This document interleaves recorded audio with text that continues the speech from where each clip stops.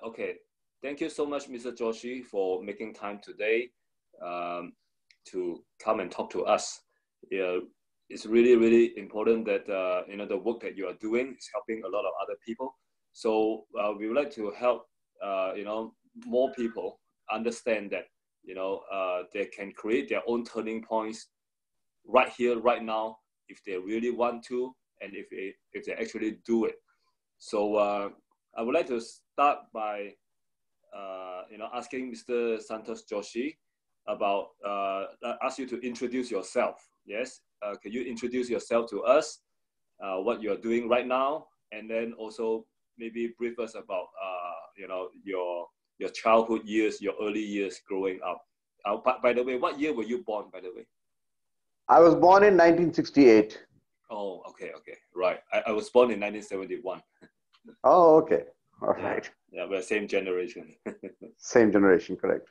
Yeah. So uh, yeah, I'll just give you a brief about uh, about my journey. Uh, I'm a mechanical engineer by education, but uh, the journey didn't start there. It started much earlier. Uh, when I was studying, uh, my father was a government servant, and we were. I, I, come from a small uh, town in India called Gwalior, where I was born and brought up. Early days uh, were uh, uh, a bit of a struggle basically because uh, I was, uh, you know, into so many different stuff. academically, I was an average student, but I was a good sportsman. I was, you know, into into a lot of other activities. I was a good singer and stuff like that. Right. Uh, always interested in adventures. So, uh, mm-hmm. you know, wanted to go out and uh, travel and do the adventure but somehow the other uh, things, uh, the family conditions uh, and other things prevented me from, uh, you know, doing all that. Yeah. And uh, you know, there is a uh, there is a societal conditioning which which is there in India, I'm sure elsewhere as well, Uh, that uh, one needs to, you know, study uh, either as an engineer or a doctor or some professional study to to be successful in life. So uh, you know, when when in school, uh, when I had to take subjects, I said I want to take arts because I was good in arts and paintings and stuff like that. My father said, no, you must you must take mathematics because that's how you will become an engineer. Because he wanted hmm. me to to be an engineer, and you know that's how societal conditioning uh, is uh, in India. That you know, unless you become an engineer, doctor, or some something of that sort uh, in in professional studies, you can't be, be successful. So because everything is job oriented. Yes. So uh, yeah, yeah, I uh, took mathematics. All my friends took mathematics as well. Uh, when we come to the stage where you know we we uh, have to get admission in uh, a professional college, there's an entrance exam. So all my friends appeared for this pre-engineering test. I also appeared that test, and and I was I was not uh, very sure what I am going to do because I, academically I was not not good at all. But uh, surprisingly, uh, I got selected in the engineering college, and that was a big you know kind of turning point because uh, I never expected me to to be in that college. To be very frank. Uh, but yeah, I mean, once once you get into into an engineering college, you have to get out as an engineer. So I came as out as an engineer, as a mechanical engineer and then how uh, society takes takes uh, you know the patterns uh, takes you ahead once you get a job once you are you know educated then you get a job then you have a family you know and and so on and so forth so yes. that pattern caught up with me so you know i from from Gwalior, that little town where I was born, I then came to Mumbai uh, to get a job. I, I started a job in an in a uh, steel uh, company, and uh, then you know the life took its own uh, turns. I got married in uh, 1996 and uh, so that's that's how it happened. And i kept on working uh, for 17 years mm. always thinking that i wanted to do something else in my life but i could never do that during my you know job days because it's that's how life takes you ahead. So in 2007 when i realized and there was a strong uh, feeling that you know no I, I, should i'm here to do something else and i'm not here to you know do this corporate uh, uh, kind of job or live a corporate life that is when i you know took a decision. But of course the journey has started much earlier so hmm. when i got married uh, you know i always had this question in my mind that what happens after death? And i was very intrigued about this uh, question what happens after death? My wife uh, when she came in my life in, uh, 2000, in, in 1996 and we started discussing and she fortunately was also had similar questions. So i got a you know partner who with whom i could discuss these things so then we started discussing and you know talk, spoke to many people people who have had near death experiences people who have had you know these uh, uh, uh, occult experiences uh, you know uh, all these things and uh, read many books during that time and we came to know more, more and more things about what really happens after death that actually took us towards uh, what I am doing now. So I went uh, uh, underwent this process called past life regression, which is a process which takes you you know into the memories which have been which are stored in your subconscious or you know memories of all your past lives. And I got wonderful experiences during that time. I got beautiful you know experiences about myself, about my own life and stuff like that. Right. Uh, somewhere in 2003, uh, it was a coincidence, but now I know it was not a coincidence. Uh, one of my friends took me to a place, uh, an hour drive from uh, Mumbai. This yeah. place is called as Ganeshpuri, ah. where uh, uh, it's it's a uh, you know it's a burial place of an Indian guru. Oh. So this guru's name is Nityanand, Swami Nityanand. Ah. And you know in India we call this as Samadhi. Samadhi is the place where mortal remains of a guru is buried. Ah. So uh, uh, this this uh, guru he had taken samadhi in 1962. So I had never met him in my life uh, in this mm lifetime. Yeah. But when I went there, uh, something happened. You know, there were the energies were so strong, and uh, when once I went there, it was like a, a life-changing experience for me. in the mm sense that it, it is as if I have come home, and I got connected to that energy, and I said you know suddenly felt that there's some energy uh, which is always there guiding me and protecting me uh, in this field. And uh, that's how it started. So my spiritual journey uh, started from there. And uh, i got many many experiences uh, spiritual experiences after that. Came to know about my own past life and my purpose of life in that phase and uh, then uh, of course you know this whole uh, calling uh, inner calling uh, became stronger and stronger that uh, i'm i'm here to do something else and not you know for this corporate kind of job which i'm i'm doing right now. So it took me to a point in 2007 when when i was still working as a country head in a multinational company. I came to a point where i felt that no this is not what i'm here to do but uh, of course there were challenges and uh, you know suddenly if you leave a job uh, which is a high paying job uh, like what i was doing uh, you suddenly get this financial constraint and you know you can't really take a take a step uh, suddenly in your life because you know you have to pay your bills at home. Yes. Yes. But my wife was very supportive of me. She's a, she's an architect. And she said that since we are both on this path uh, and we both want to do what we you know are really passionate about in our life. Why don't you go ahead and do something start something on uh, uh, in your life? I will support the family. Uh, and once we are stable uh, you know uh, we, i will come to the same path as well. But you know let's get get, get give it ourselves a chance one by one. And that was like a rock solid support for me. So then i took it took this step of leaving the job and uh, became a, a, life coach. I became a past life regression therapist. So you know i started taking people into their past lives and getting helping people uh, getting their own answers about their you know what is their purpose of life and uh, you know deeper level answers. Uh, somewhere in 2009 i was experimenting a lot with uh, my own meditations and my, with my breath uh, breathing process.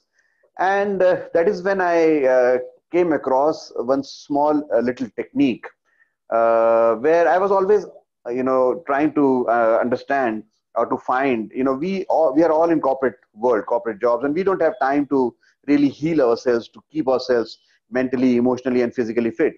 Uh, it is said that if you meditate for an hour or hour and a half or two hours every day, uh, you will be, you know, completely healed. And every day you must uh, do uh, do this kind of meditation. But who has time? You know, we don't have time because we are always we are always running. So I was always trying to find something which is small, uh, but which can give you that benefit of an hour's meditation.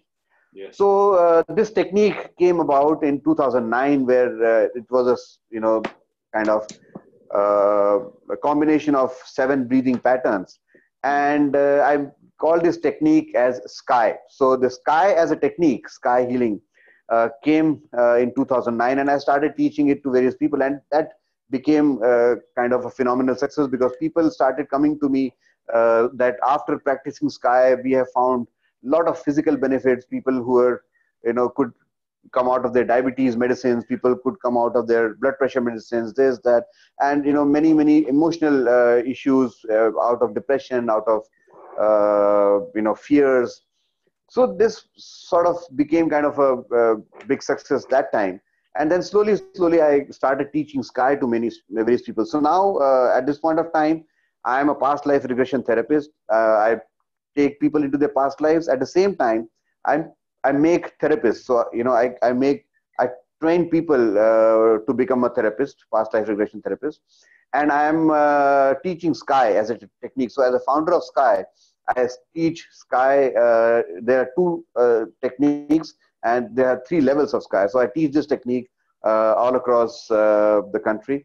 In various cities, we have these workshops of past life regression and Sky and uh, so so that's how my journey has been so it's been a very kind of an intriguing journey in the sense that uh, a lot of ups and downs uh, i finally came to the path where i am now feeling very very satisfied very uh, you know calm and peaceful from within and i am feeling uh, uh, kind of you know full, filled with gratitude uh, that uh, I am on this path where I'm I'm able to uh, help many many people in their lives. Right, right. What year was it when you uh, started doing what you're doing right now? Uh, when I so uh, there, there's a uh, it's it's a it's a phase uh, in the sense that there was no year uh, particular uh, yes. year, but uh, in 2007 I left my job and uh, officially started on this path. Right. But the process probably had started much before that. Yes, yes, because you uh, went to Ganesh Puri in 2003. Correct. So your friend brought you there. Uh, did he say anything, or he felt an urge to bring you there, or how, how did it all happen? You know. Well, uh, uh, you know, it's so happened. Uh, now I know that there is nothing, uh, no coincidence in our lives. Everything is planned. Uh, you know, at at a deeper level. So you know, things things are going as per a larger plan in our all all our lives. Hmm. But that time we we had just changed our house. We I bought a new house and we came to this house and these these friends were our neighbors so we uh, when we went to their house they were you know in, inclined towards this subject so we were having a lot of spiritual discussions uh, with mm. each other mm. and during one such discussion uh, this friend said that look there is a place which is very very powerful and you must go there i will take you there mm. so i said fine of course we must go there and that's how you know uh, i went there right right so can i know like your friend, right? He, he's definitely very connected to the spiritual path. So how, how is his life like? You know, how, how is he? Uh, he's uh, still connected. He's uh, still very much into spirituality. A very very pious uh, human being.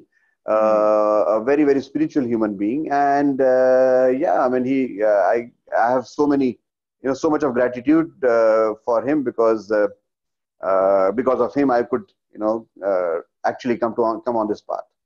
Right. So after 2003, the visit to Ganesh Puri, uh, what's what are some of the actions that you took? Like because you went further, like you advanced your knowledge in in this area, right? So you went to seminars, or did you look for other gurus or read up some books? You know? So I uh, one uh, I had experiences, you know. So in India we say that we have these spiritual experiences. So uh, uh, we always uh, used to believe that we all need a living guru. So I, I said, you know, uh, living guru, of course, uh, yeah, uh, if you need one, how do I find a living guru? Because uh, I had never met uh, Swami Nityanand in my life. He had already, you know, taken uh, a samadhi. And how to find one? Because there are so many, and how to choose? Because in this, in today's world, you don't know who is real and who is fake. Yes. So I, uh, you know, went to uh, uh one of these days uh, in 2003. I went to uh, Ganesh Puri and uh, I was sitting there and meditating. And I asked this question. I said, I need, I need a living guru, and I, you know, I, I don't know how to progress on this spiritual path. So that is when, when I was coming back.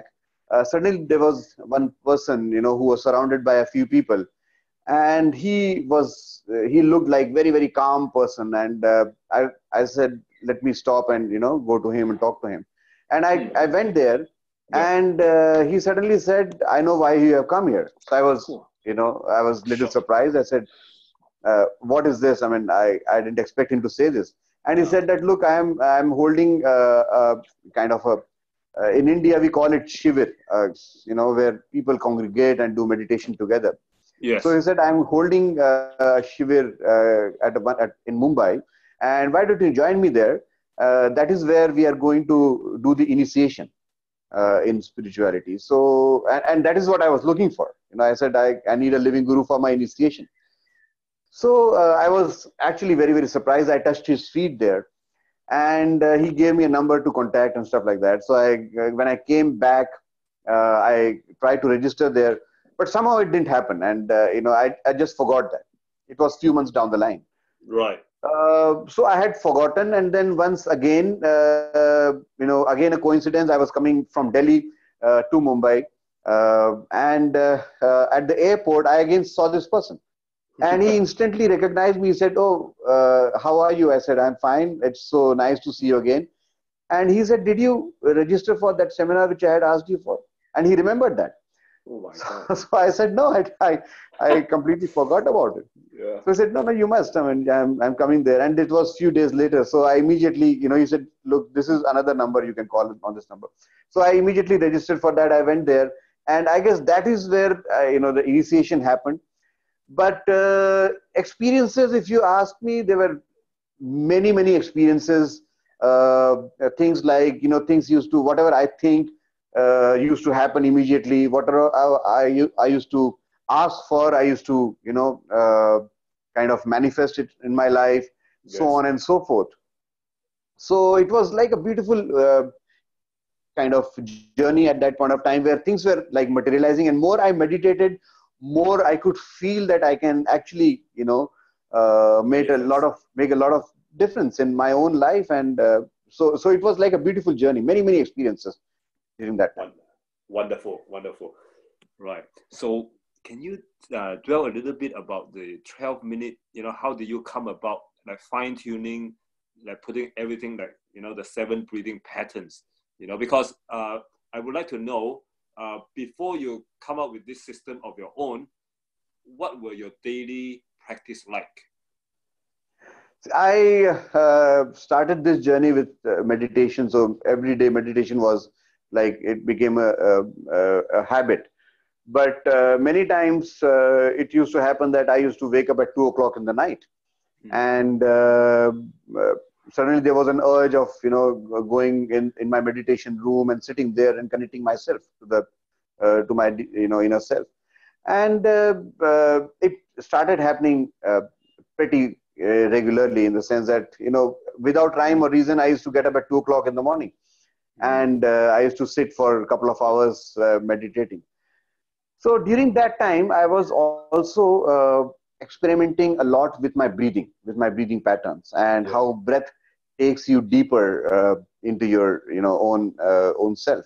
And breath actually is a very very powerful medium uh, to take you, into a, a, deep level of trance. So there were various patterns I used to do. you know, I started with Indian you know, system which is called as pranayama, uh, which basically means uh, con- control of your breath, and so on and so forth. But there were few t- patterns which uh, I, you know, discovered myself uh, when I was doing those patterns, that used to take me to a very, very deep level of meditation. Wow. Uh, and uh, those were, you know, four or five patterns which I used to do, and they were actually taking me to a deep level of trance. And then I said, let me, you know, devise something, uh, making uh, these patterns into a combination. And mm-hmm. I made a combination of these seven techniques. And uh, that's how then, you know, it, it became a very short technique. It became like a, a eight or nine minute technique, uh, which uh, which used to take me deep, and I used to feel very very refreshed after doing that. Uh, and I, I, then I taught it to a few people, to uh, people around me, and uh, they also started telling that you know this is this is uh, really working wonders in our lives. So that gave me confidence, and then I said, okay, let me you know start, let me formalize this. Sky as a name also came in during meditation. So it came as an insight during meditations that that, that I should name uh, this technique as sky. There's no there's no full form uh, of sky, but it's you know the sky is a technique. Uh, so I named this as sky, and uh, then of course you know rest is a history. So it became very very popular here. Right, right. And then you are now uh, teaching this to a lot of corporate clients, uh, people from all walks of life around the country. Is that right? Correct, correct. I have also uh, had few workshops outside uh, India as well, mm. and uh, in India as well. So you know, many many corporate clients, many individuals. There are people. Uh, I've I've made Sky teachers now. So these Sky yes. teachers, what they do is in various cities they uh, teach this Sky technique to to people in their, those cities. Right, right. I see. Wonderful, wonderful.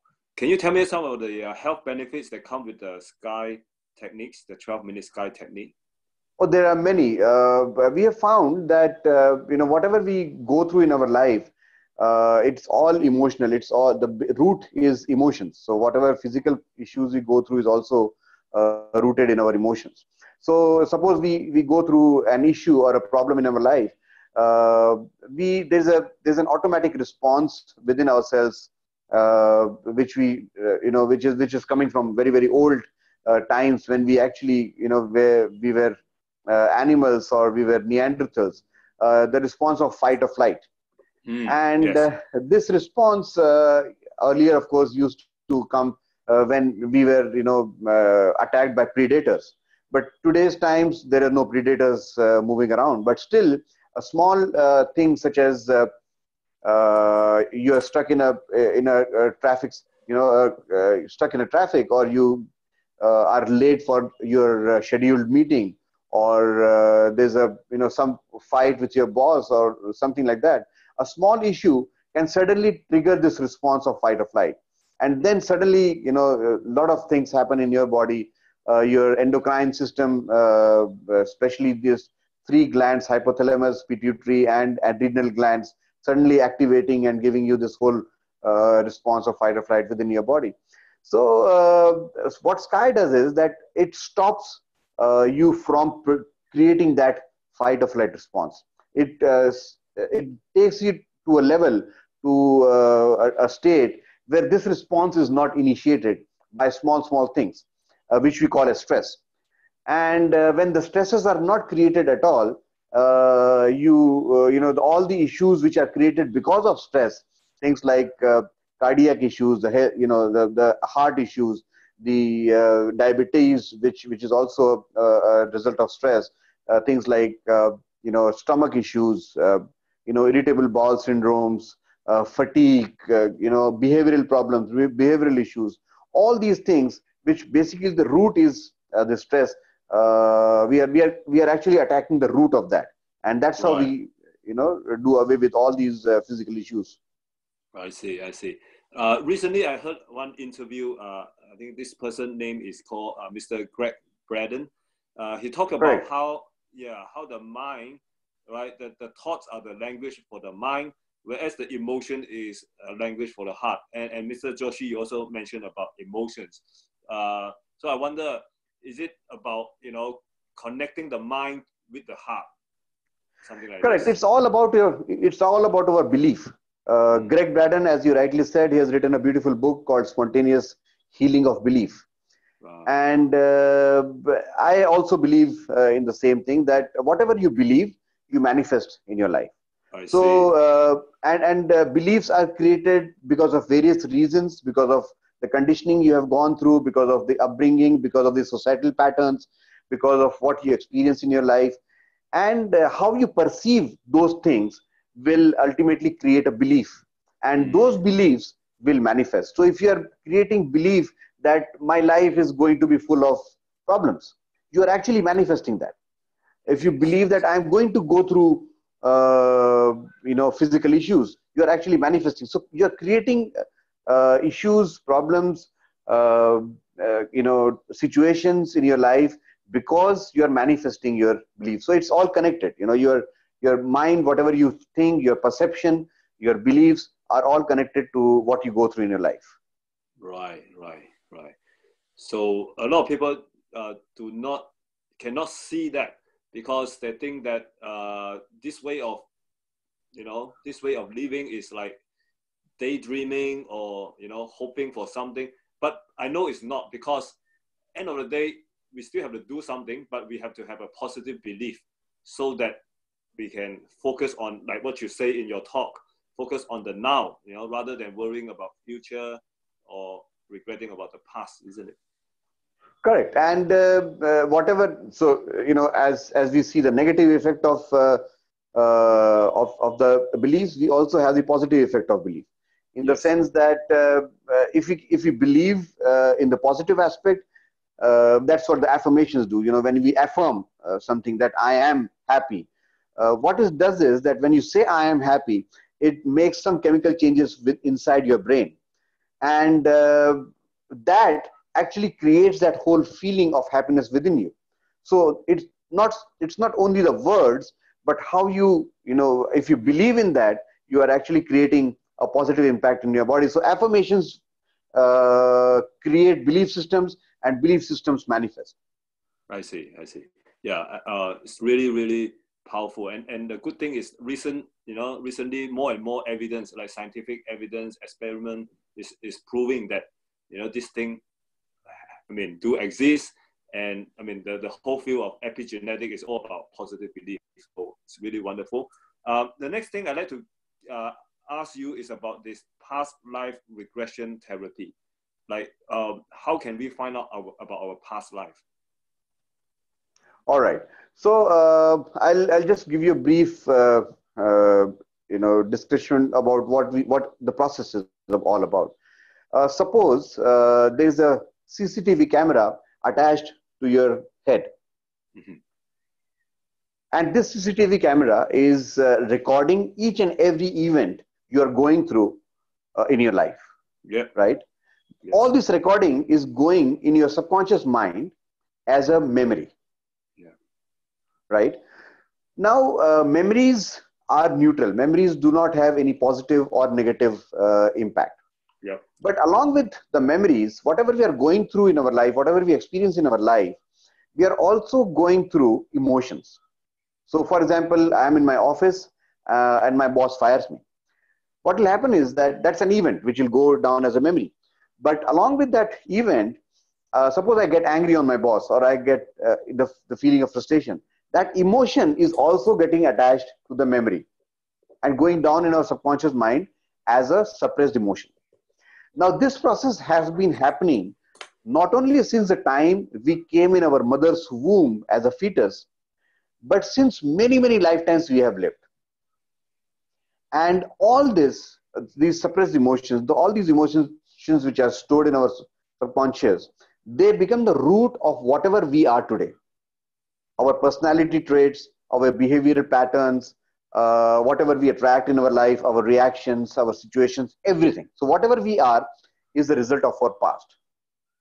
Now, uh, Eastern philosophies uh, believe uh, in re- soul reincarnation. Western philosophies don't believe uh, in the soul reincarnation so much, but I'm sure uh, now lot and lot, lots and lots of studies are being done in the West as well but predominantly Eastern philosophies believe in soul reincarnation.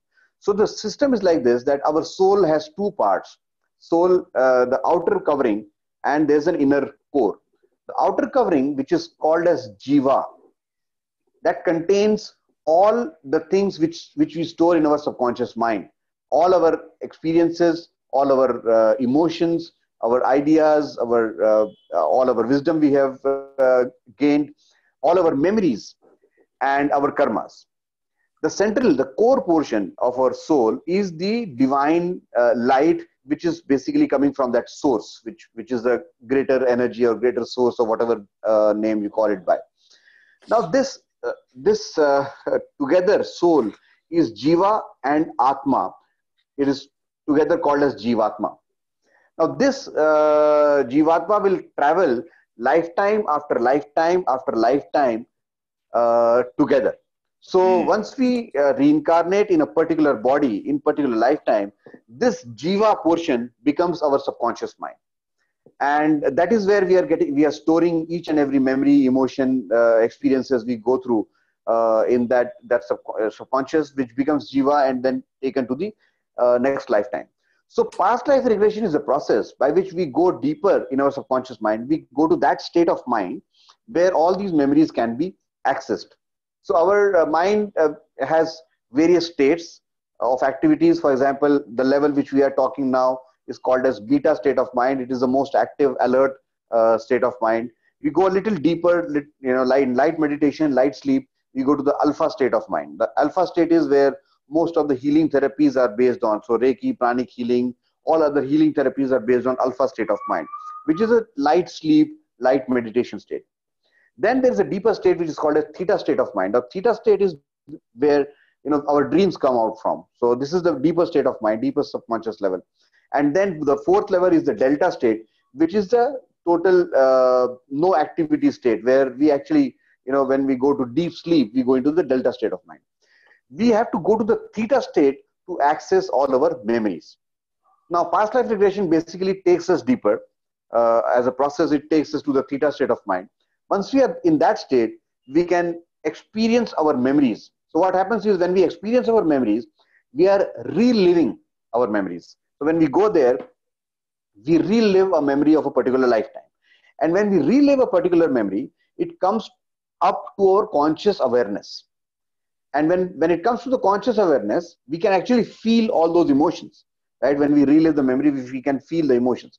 When we feel the emotions, they are coming deep from the deep subconscious level to the conscious awareness to the surface and then releasing from there. Now analogy could be something like this that if we take a can of air under the surface of water and we open the can what will happen is the bubble of air would travel to the surface. Yes. And then it would release itself. Yes. The same way these emotions when they come to the come to the surface uh, you know conscious awareness they release themselves. By releasing emotions of our previous lifetimes of our, of our previous memories what we are doing is that we are uh, relieving ourselves from the situations or issues or traumas we are ex- experiencing in the present life the, because of these memories. So we are basically clearing the root cause of whatever we are experiencing now in the present moment. Mm. so by this therapy we release the root cause now, uh, this is one thing. This is a therapeutic use or a therapeutic way of explaining this uh, process. So we are, you know, uh, what we are doing is we are clearing our baggage by which we are uh, making things better in the present life. But that's not all. By with the help of this process, we also go to a state which is called as LBL state, life between life state in that state uh, you know life between life means between two lifetimes right? Yes. so as per the theory of reincarnation uh, we plan our future life before we are born. So you know before we are born we are planning the purpose of that particular lifetime. We are planning things uh, you know situations challenges uh, who are going to be associated with us before we uh, take birth so we can go to that state, LBL state, and actually know why we are here. What is the purpose of this life in this lifetime? And that gives us a sense of direction in this life. Because what happens is that most often at the age of two or three or four, we tend to forget our purpose of life. and then we live most often life uh, you know unconsciously uh, without having any kind of sense of direction or purpose but we all at some point uh, would want to know our purpose of life. And once we know that through this process uh, you know our life can be a completely different uh, journey altogether. Right. Can you give me some example of the purposes of life that you know in the therapy that we can find? I mean yeah the you know, purpose of life like some examples you know? So i found my own purpose. Uh, uh, you know when when i went to the uh, to the LBL state uh, it was a metaphysical experience for me and my guru came and hugged me and i asked him what is the purpose of my life so uh, i came to know that my purpose is to to heal the world but there are many many people I, there was one one lady who was uh, working in a in a multinational company, uh, uh, you know, at a very high post. And uh, she was, she attended one of my past life regression workshops. So during that time, she came to know that she saw herself teaching destitute children. And she saw that her purpose in this life is to teach and uh, basically teach destitute children. So after this workshop, uh, she started thinking. She said that you know her passion was also to teach. So uh, she left her job and she joined, uh, uh, you know, there's a, an NGO which teaches you how to teach the children. It's called as, as Teach India. So she, she joined this NGO. She learned how to teach children and now she's uh, she's you know uh, uh, on a day-to-day basis she's teaching slum children destitute children she go to you know schools in slums and teaches those children. And uh, today, uh, you know, when I talk to her, she says, "And I'm extremely happy. I'm feeling so satisfied in my life uh, that I'm doing something which is basically uh, aligning with with my purpose of life." Wonderful, wonderful. It's beautiful. I think um, you know, as you were talking, I was just you know coming out to this insight that you know it's because of the so-called modern world where you know under this current monetary system people were being conditioned to, uh, you know, always, always gather more uh, material wealth.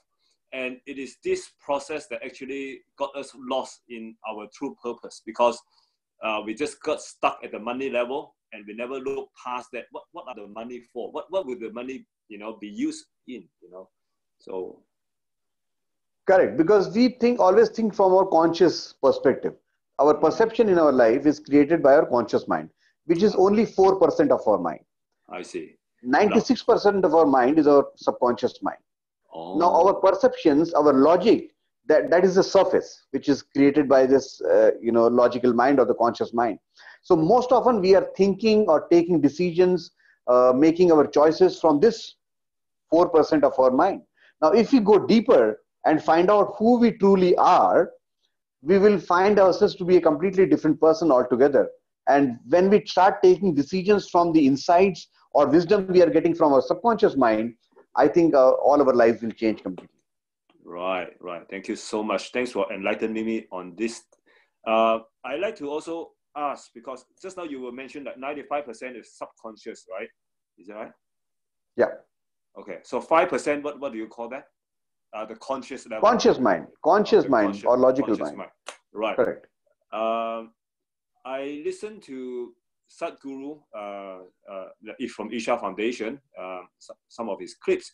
He also he, he mentioned something about um, you know meditation and when we do all this meditation and looking inward, we are achieving uh, you know we, we are becoming more and more aware, right? Uh, and and all these things. So I'm I'm just checking my understanding. Does it mean that uh, people who are enlightened they are they can access deeper into their subconscious and therefore had a higher level of awareness about what they want in life about right you know, is that right? So i i'll give you a, a, a little exam you know uh, explanation of this concept.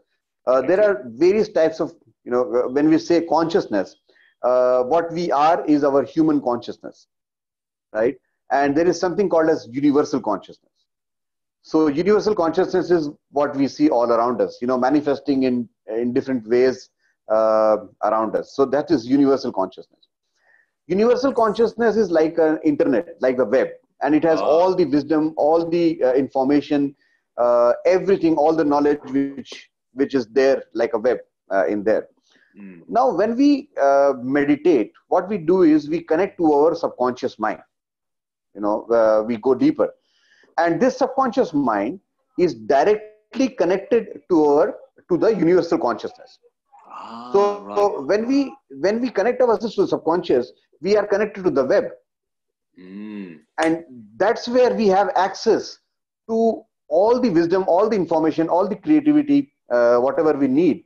And that's where we have a deeper understanding about life. That's where we when we connect uh, to the subconscious we know that life is not what we see it as but uh, you know it's there's a deeper process or the or larger plan uh, in action in all in in the life of all of us right. Does it mean like what Sadhguru has said? He said if i understand this piece of life myself then i'll be able to understand other people's uh or i will understand the life right in general? Correct. Because we once once we once we are connected to the universal consciousness we are connected to all all the people around. Yes yes. Because now, each one of us is a part of that universal consciousness. So once I am connected to that, then I am connected to everyone. Wonderful. And then we when then we become a part of this, you know, uh, this whole plan. Then we uh, we are able to understand. We are able to be aware of uh, of of this, you know, what's happening around us. Right, right, right. Uh, can I also can I also say that that is the reason why uh, migratory birds who flew from the north to the south, you know, in uh, cold weather, and then the children were born, you know, hatch the eggs. They will fly back to the north without the GPS, without their mother telling them how to fly back. They're able to do that. Is that the wisdom from the universal consciousness? Yeah. So uh, you know, when you know we, as per uh, the theory of evolution, when we evolve, uh, we evolve at various levels. So, uh, you know, we evolve from rocks, minerals, and crystals to plants and trees, then to animals, and then to human beings. Now, uh, till the plants and trees and animals state, we are all working out of instinct. And this instinct is guided by the universal consciousness. So, plants and trees and animals are directly connected to the universal consciousness. But as soon as we become humans, we get this extra you know additional faculty which we call as intellect uh, and we take our decisions through intellect this which is basically our you know 4% conscious mind now uh, animals don't have that animals are directly connected all the time uh, to this universal consciousness we need to go deeper to get connected that is why animals don't have to meditate they can't meditate but they don't have to meditate in fact they are always meditating because they're always meditating. Right, right, right, right. Thank you so much for explaining this. Now, now I can put the pieces together because, uh, yeah, so it's fantastic, fantastic. Right. So that's why we need to meditate and, uh, right. wonderful, wonderful. Can I also, while, while we are still talking about this subject, um, can I ask you about uh, Wim Hof, the Dutch man who used a lot of breathing techniques to overcome a lot of physical limitations and even use his mind power to resist the um, you know the poison or the toxics in, uh, injected into his body. Right. So see the breath uh, is a very very powerful uh, tool which has been given to us. We take breath for granted.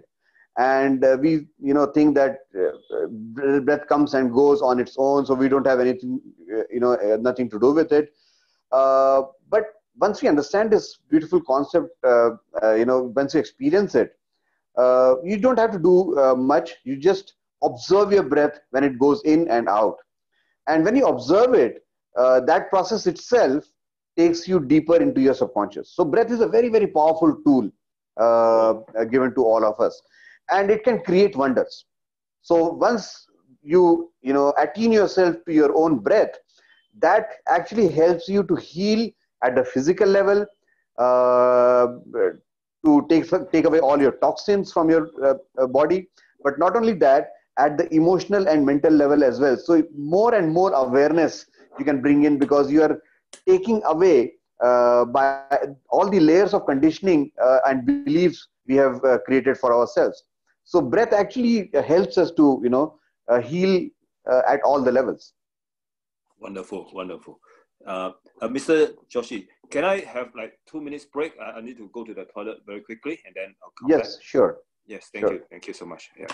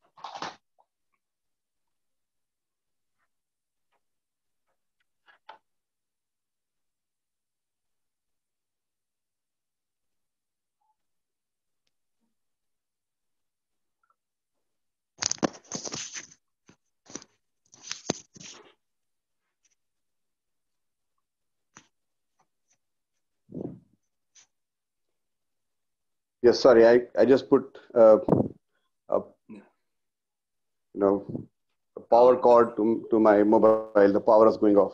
Oh, no worries, no worries. Thank you, thank you. Uh, can I just quickly visit back to the uh, because I noticed that you also mentioned about reliving is relieving, right? So reliving the past experience is relieving because uh, it eases us, it, it, it, it takes us away from the burden, right? yeah. So uh, is there because when we relive the past, sometimes we feel like anxious again, you know, again and again and again. So uh, when you when you mention reliving is relieving, does that mean that we should interpret the past in a certain way, so that we can we can we can feel more relief? Uh, when we say reliving is relieving, it basically means that uh, in, in, in the process of uh, past life regression, we go to that state of mind, relive a particular memory as if it is happening now. It could be a memory of our past life, or it could be a memory of our present life. We relive the memory as if it is happening now. So when, when we relive a memory, we are bringing back those memories and emotions to the conscious awareness, from the subconscious mind to the conscious awareness. And when we bring it to the conscious awareness, that releases itself. Mm, right. So that's why when we relive a memory, we are relieving ourselves from the traumas associated with that memory. Will, will, will it happen in such a way that it becomes like a habit, like, you know, we, we keep thinking about the past and then it hurt us again and again and again. Would, would that happen? Like attachment no once kind of once we have once we have relived a memory and once we have you know released the emotions associated with that memory then we will uh, you know those memories we will not forget the memory. The memory will be there mm. but we will not be getting affected by those memories. Ah right right right. And also you mentioned something about forgiveness uh, on forgive others as well as forgive ourselves. Correct because forgiveness acts as a very, very powerful tool to cut our baggage. right so when we go to a past memory and we forgive that person what we're doing is there is a invisible cord attached between that person and our, ourselves you know through that whatever instance has happened so by forgiving we are cutting that cord and letting Right. it free Right, right, right. Understand, understand. Otherwise, it will, it will affect our our life, affect So how that- we interact with people. otherwise it is pulling you back Mm. Right, right. Thank you, thank you, sir. Right. So, uh, yeah, uh, that part I need to revisit. Uh, thank you for clearing it up. Uh, now, another thing uh, to continue where we left off just now, talking about the breathing. You know, uh, you you mentioned a term called like attune to our own breathing. So, how, how can we attune to our own breathing? The easiest way is to observe your breathing. When we breathe in and breathe out we can feel that breath touching at various points in our inside our nose in our windpipe and our lungs right? We can feel that. Just observe that feeling as it goes in and then comes out Mm. right? Every time you do that uh, automatically you'll find that you are actually clearing yourself from the conscious binding and going deeper into subconscious All right, I see, I see. That's why they say we have to be present. Have to be present. correct observe your breath means being in the present Mm, right, right. Without thinking a lot, without thinking like, what will this do to me? Now I'm present. Now what? Just being present. Just be present because life happen, happens in the present moment Right, right. So uh, yeah, coming back to Wim Hof, uh, can can you share with us some of your thoughts on on Wim Hof's techniques or Wim Hof's, you know, his what what what he can do, things like that. I I my Yeah, my the- own take my sorry yeah my own take is that uh, Wim Hof is a guy who make this known to more people in the Western world, but I believe there have been other people be able to do things like that as well. Is that right? Uh, yeah, I'd like Yeah. to hear from you. yeah j- So- just a moment I, i'll just i'm just uh, uh, checking whether the power is coming or not just one moment No worries. Thank you.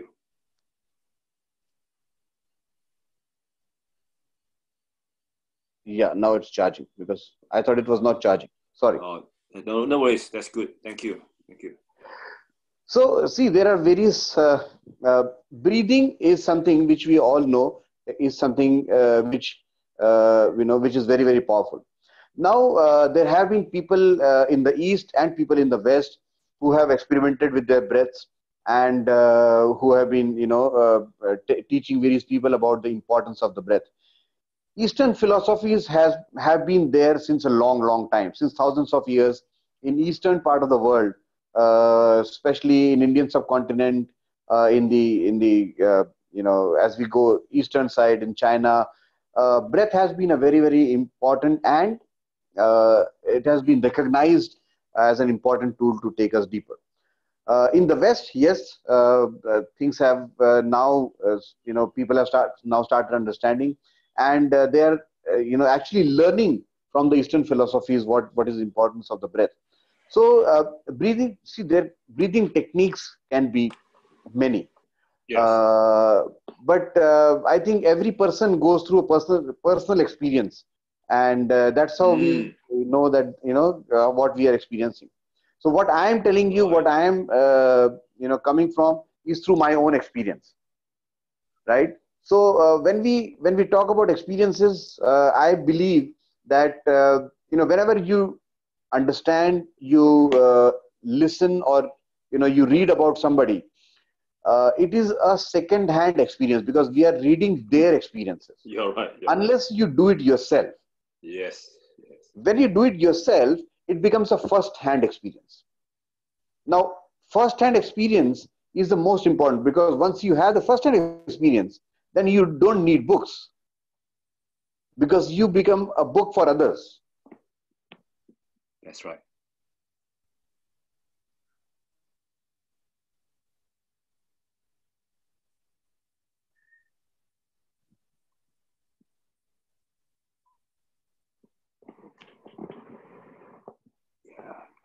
can't hear. Don't know why. Yeah. Can you hear uh, me? Uh, I, I think I missed out a good uh, 10 seconds of it because I think maybe the, the Wi-Fi wasn't like very high just now, very powerful. Okay, so I'll repeat that. Yes. So uh, many, many people have their own techniques, devise their own methods uh, in breathing. Uh, every person uh, will devise from his or her own experience, right? So in the West, uh, as you said, there are people in the East, they have been there, these techniques have been there. Uh, the most important thing is to experience yourself. You're right, right. Yes. Right. And once you experience yourself, it becomes your own first-hand experience. And then you don't need a book. You don't need to be to learn from anywhere else because you are your own teacher. Yes, yes. Thank you so much. Thank you so much. Right. So what you're doing right now, right, uh, for your clients, uh, I think it's very, very uh, unique at the moment because a lot of people are just attacking the surface level of the problems. Like maybe they're not happy, uh, so they just tackle the level that is very superficial. But uh, for the first time, actually, uh, I'm listening to this. You know, I'm exposed to past life regression, and also the breathing technique, and also the meditation, how you combine it, and, and the way you explain it is, you know, make people like myself who are, you know, uh, who has no knowledge in this area understand, you know, beginning to see something in it. Right. right. Yeah, yeah, and uh, and uh, and I suppose you're also bringing back this tradition to to a country that is so rich in this ancient wisdom. Uh, just that sometimes you know the modernization is taking us further away from it. Correct. Modernization is good. I mean, uh, we all need to, you know, live a, a, comfortable life. We all need to have good facilities around us. Science and technology has done for us. Uh, so it's it's a good thing because we are all uh, moving forward, moving ahead. But we must also uh, understand uh, the basic principles of life, which we, uh, you know, inherit from our past. things like we should be we should be, you know, thankful for things we already have in our life instead of complaining for things which we don't have. That's the wisdom comes from our past. Uh, things like we should always have faith, unconditional faith on the universe and yourself, uh, because absence of faith creates fear. Mm. Uh, so things like these, you know, because uh, we we you know modern, of course, we must become modern. We we have new technologies to help us, uh, new development which helps us in our day-to-day lives but our life uh, will become much more fulfilling if, if we understand these basic principles of how we deal with our past, uh, deal with our present and our future. So, you know, regrets, angers, uh, about our past where we need to forgive and let go. Uh, be in the present moment, give your best in the present moment. Uh, you know, take your chances because this is the only life you have uh, you know a moment where you're living your life. So be in the present moment and plan for our future because future uh, you know instead of having fears and insecurities about your future uh, uh you know but if we if we have faith and uh, plan for, for your future what you're going to do and how you're going to achieve your life goals the life itself becomes much more fulfilling and successful because the biggest regrets uh, a person biggest regret a person has on his or her deathbed is that uh, he or she could not utilize uh, their full potential. So yes. we we have to understand that because uh, oh, making money or creating wealth or creating material things is not the only thing that makes life successful. We need to have uh, an inner adventure a sense of inner fulfillment as well. Yes. Thank you so much. Thank you so much. Uh, I also ask, like to ask, like if people like us want to know more about your 12 minute technique and past life regression, or maybe some people out there, our listeners, they're also interested in becoming, uh, doing what you're doing, you know, becoming a certified uh, past life regression therapist. Uh, what, what are some of the steps that we can take? So these are typically, uh, you know, there's a workshop. So the basic workshop uh, for past life regression, there's a two-day workshop where you experience your own past lives. Uh, following that is uh, a training uh, workshop. So there is a, uh, a five five day workshop which trains you in the techniques of past life regression. But this is this five day thing is a one year program. So in five days you learn the techniques and then you practice uh, for one whole year with your own people and then after one year there's a there's a test so there's a written test and a panel interview uh, only after which you are certified as a past life regression therapist so it's like mm. a hmm. program one year program right. so uh, if anyone wants to uh, you know uh, attend so you have uh, of course in india uh, people know and they can attend my workshops here but if if people are out from outside you know from from australia or from uh, you said you're from Malaysia or any other places. Yes. yes. Uh, of course, you know there can be opportunities where we can, you know, uh, arrange workshops there. I can. I'm always, uh, you know, uh, happy to come over and teach that these techniques uh, in your country. And right. if you arrange a workshop, of course, we can we can do that, and you can be a certified past life regression therapist there. for Sky Technique as well, uh, so there are there's a uh, first technique which is level one technique, which is a combination of seven breathing techniques, uh, which breathing patterns. Then there's a level two, which is another technique, which is a, a shorter technique and which cleanses you from within uh, through your breath. So uh, and then you become a you know certified sky teacher.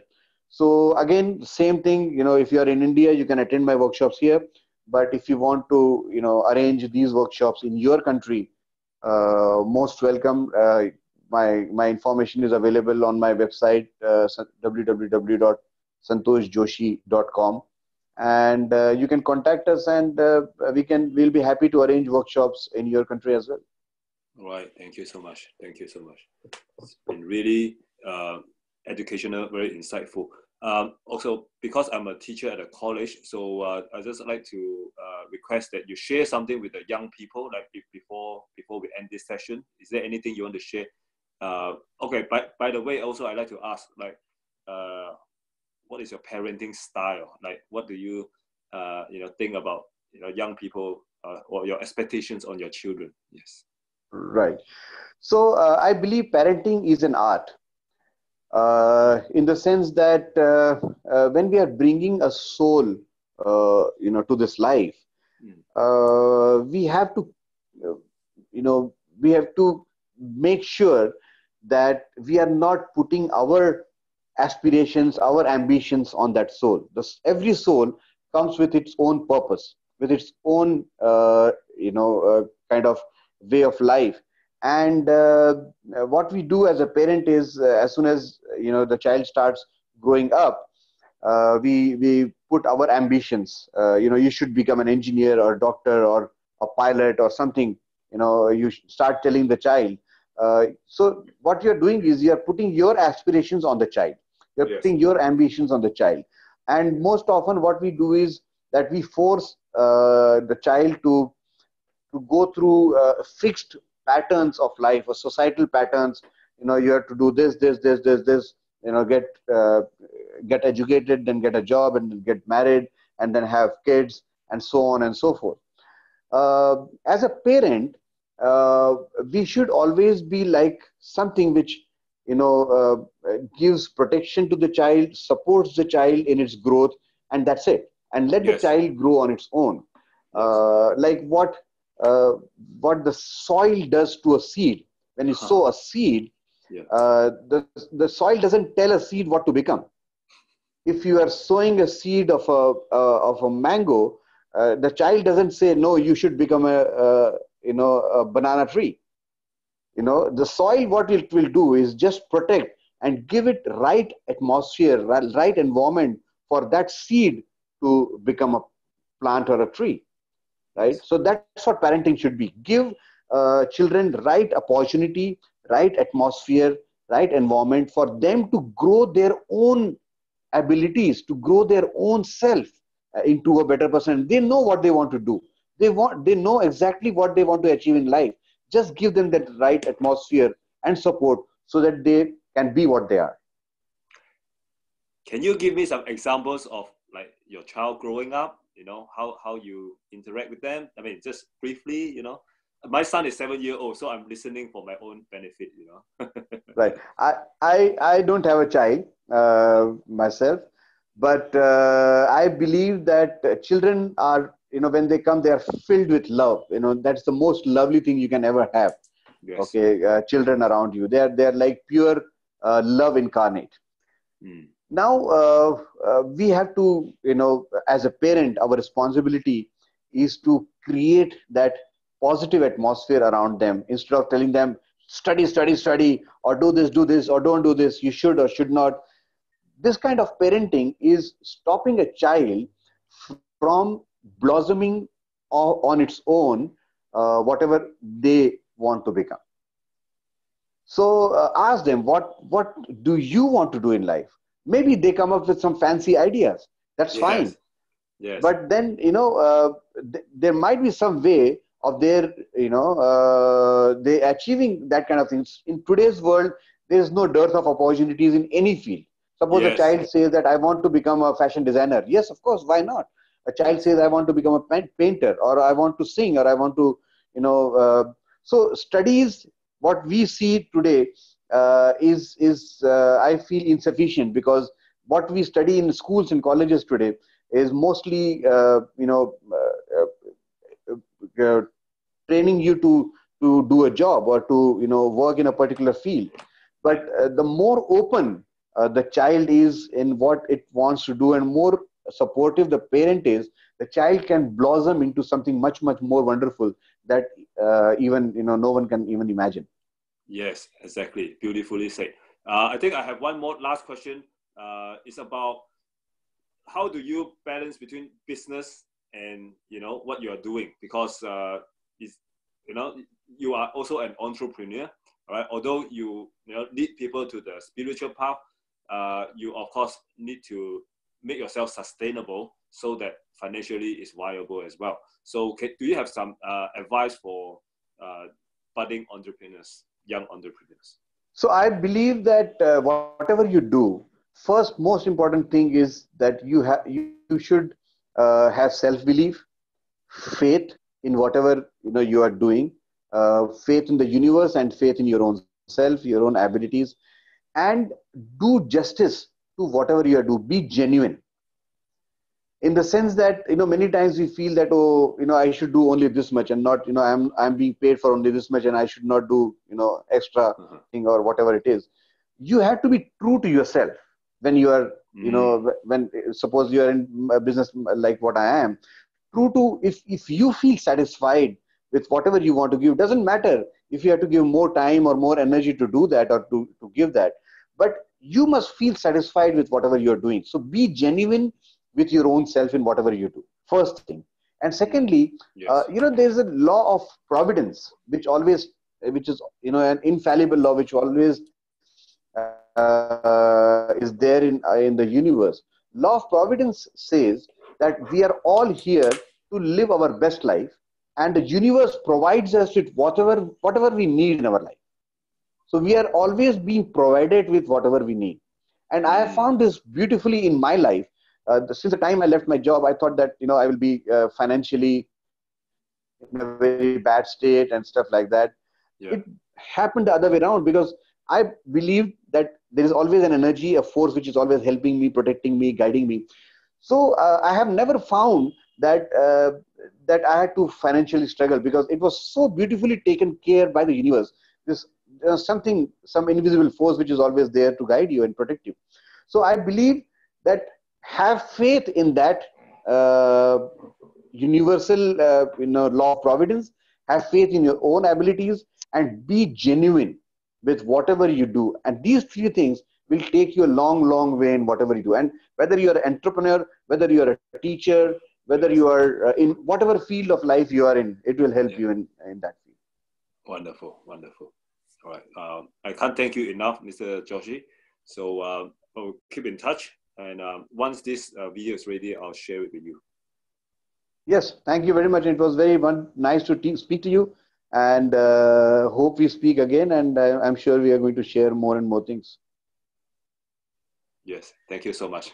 All right, bye for now. Thank you. Bye bye. Thank. Bye bye. Thank you.